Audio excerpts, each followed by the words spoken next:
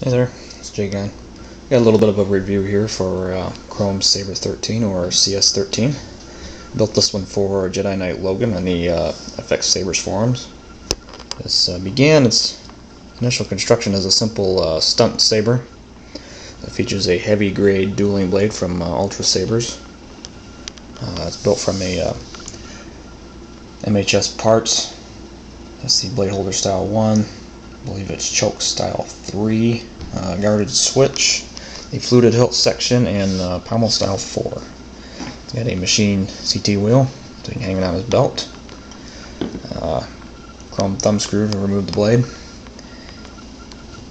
There's a nice little speaker grill in there. Chrome accents. Let's uh, start it up. Look at that, it's got sound. Do you know? Uh, she managed to get a uh, MR Obi-Wan board in there. It's, uh, right about here. Back in here you have a 4 AAA battery pack. Nothing but wires through here for a quick disconnector, so if uh, he wants he can change the color.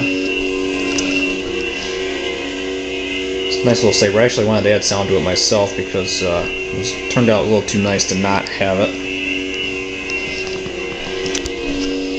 They have all your usual MR sound effects.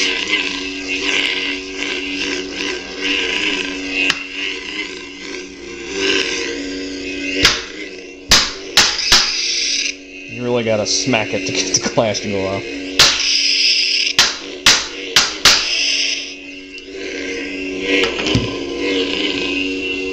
I don't think that'll be a problem for him though. He uh, he's a big fella and he likes to duel, so should have no trouble setting off the clash.